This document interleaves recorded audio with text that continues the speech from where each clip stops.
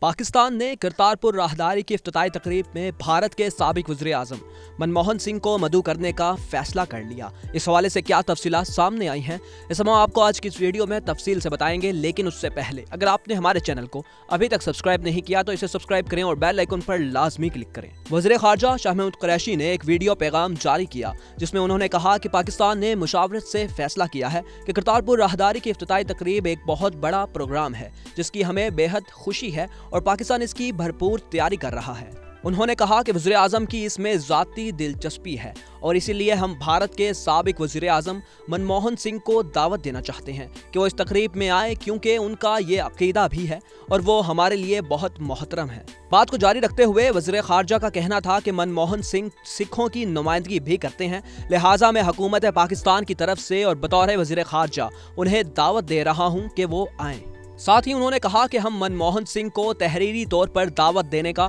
ارادہ بھی رکھتے ہیں، جبکہ ہم باقی سکھ برادری کو بھی دعوت دیتے ہیں کہ وہ آئیں اور بابا گرو نانک کے پانچ سو پچاسویں جنم دن کی خوشی میں شریک ہوں۔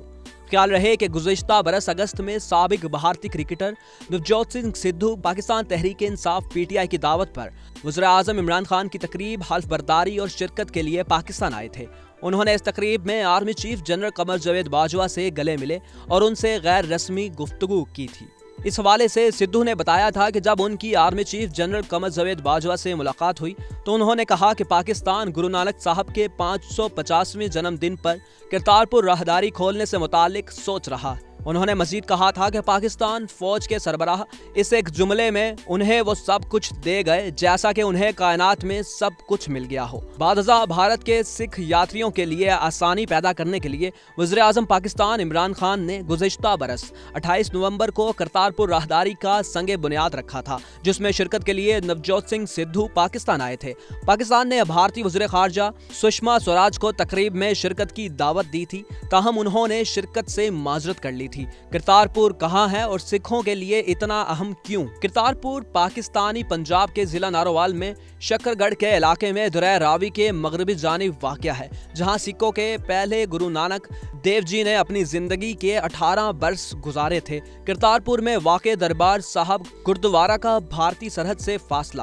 تین سے چار کلومیٹر کا ہے۔ سکھ زائرین بھارت سے دوربین کے ذریعے ڈیرہ بابا نانک کی زیارت کرتے ہیں۔ بابا گرو نانک کی سالگرہ منانے کے لیے ہزاروں سکھ زائرین ہر سال بھارت سے پاکستان آتے ہیں۔ پاکستان میں واقع سکھوں کے دیگر مقدس مقامات ڈیرہ صاحب لاہور پنجا صاحب حسن عبدال اور جنم استھان ننکانہ صاحب کے برعکس کرتارپور ڈیرہ بابا نانک سرحد کے قریب ایک گاؤں میں ہے۔ بھارت اور پاکستان کے درمیان کرتارپور سرحد کھولنے کا معاملہ انیس سو اٹھاسی میں طے پا گیا تھا۔ لیکن بعد ازاں دونوں ممالک کے کشیدہ حالات کے باعث اس حوالے سے پیش رفت نہ ہو سکی۔ سرحد بند ہونے کی وجہ سے ہر سال بابا گرو نانک کے جنم دن کے موقع پر سکھ بھارتی سرحد کے قریب عبادت کرتے ہیں اور بھارت سے زائرین دوربین کے ذریعے گردوارے کی زیارت بھی کرتے ہیں۔ دوستو، آپ اپنی رائے کا اظہار کمنٹ میں لازمی کریں۔ آپ کو ہماری یہ ویڈیو پسند آئی تو اس کو لائک کریں، ہمارے چینل کو سبسکرائب کریں اور بیل آئیکن پر لازمی کلک کریں تاکہ ہر نئی آنے والی ویڈیو آپ تک بر وقت پہنچ سکے۔ شکریہ۔